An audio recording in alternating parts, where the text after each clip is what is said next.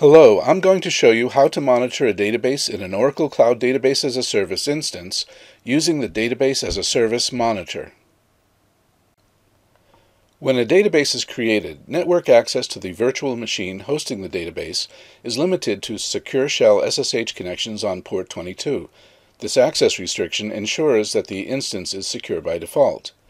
To access the database as a service monitor, you can either ask your cloud service administrator to open port 443, or you can use SSH client software such as PuTTY to create an SSH tunnel to port 443 to connect securely to the database. Here is a PuTTY connection defined with an SSH tunnel using port forwarding from local port 443 to port 443 on the destination VM that hosts a cloud database. The destination is specified using the IP address of the VM concatenated with colon 443. Once you've opened port 443 or created an SSH tunnel to port 443, navigate to the Oracle Database Cloud Service console. Click the menu icon on the right beside the database instance you want to monitor and select Open DBAAS Monitor Console. Notice the other consoles you can open for Oracle Application Express, Glassfish Administration, and Enterprise Manager Express. Another way to access the DBAAS Monitor console is to click on the database name you want to monitor and then click the menu icon at the top right of the page. A new page is opened in the browser with the URL https your instance IP address dbaas underscore monitor. You are prompted for a username and password. Enter dbaas underscore monitor as the username and whatever password was specified when your cloud database instance was created. The Database Monitor console appears and displays generic information about the status of your database. This Monitor homepage allows you to monitor and configure the database as well. Here we see that the database is up and running. It is using 2.02 gigabytes of storage. There are 44 active and 3 inactive sessions. The database allows a maximum of 472 open sessions and there are 19 errors in the alert log file. To access the Monitor page, click the Monitor tab at the top of the page and select RDBMS, or select RDBMS in the Monitor section of the page. The Database Monitor page displays four sections, Storage, Alert Log, Sessions, and Wait Events.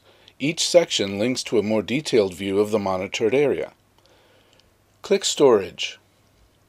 Wait a few seconds for the result to appear. The storage page displays a breakdown of the storage currently allocated by the database. The inner ring shows the distribution of the allocated space among the different table spaces, while the outer ring represents the used space in each table space. The outer ring also shows the free space in a table space. To get the details about the segments that use space in one of the table spaces, click the table space name on the right of the page.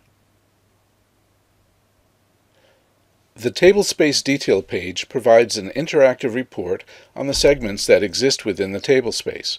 Most segments are user objects, and they include tables, large objects, and indexes. Returning to the Database Monitor page, click Alert Log. An interactive report displays the entries in the database's alert log. The alert log is a chronological log of messages and errors, commonly used to learn whether the background processes have encountered errors. Among the entries you will find critical errors, administrative operations, process errors, and other database events. Returning to the Database Monitor page, click Sessions to view Open User Sessions. An interactive report displays information about all currently open sessions in the database. The topmost table shows summarized data about each open session. Click on any row in this table to see more detailed data about that session. Returning to the Database Monitor page, click Wait Events to view the wait events in real time.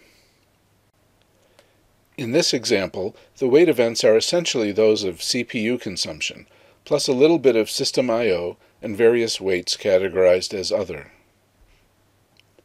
Returning to the Database Monitor page, click the Configure tab at the top of the page and select RDBMS. The Database Configuration page displays two sections, Configure Database and Features. The Features section reports the enablement status of major Oracle database features. In this example, the Oracle Real Application Clusters option is not enabled, while Application Express, Multimedia, Spatial, OLAP, and XDB are enabled. In the Configure Database section, click Parameter Settings to view or modify current parameter values. The Database Parameters page appears. To modify the value of a parameter, select the parameter, change its value,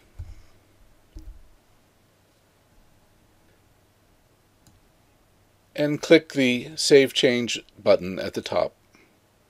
You will have an opportunity to review your change before applying it. Changes that are saved to memory will take effect immediately across all sessions, but will be lost upon the next instance shutdown. Changes that are saved to the SP file will take effect upon the next instance startup and are persistent. And that's it. You now know how to use the Database Monitor. For more information about Oracle Database as a Service, see the documentation and the learning materials in the Oracle Learning Library. Thank you for watching.